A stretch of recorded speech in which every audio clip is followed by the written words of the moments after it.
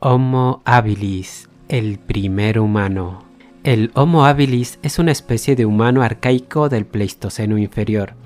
Vivió en el sur y este de África hace unos 2,3 millones de años a 1,6 millones de años.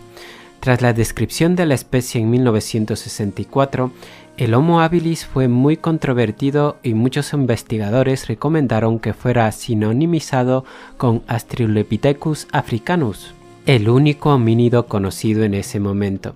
Sin embargo, el Homo habilis recibió más reconocimiento a medida que pasó el tiempo y se hicieron nuevos descubrimientos.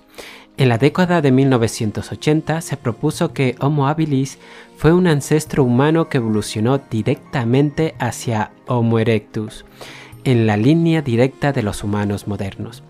Este punto de vista es ahora objeto de debate. Varios especímenes de especies no identificadas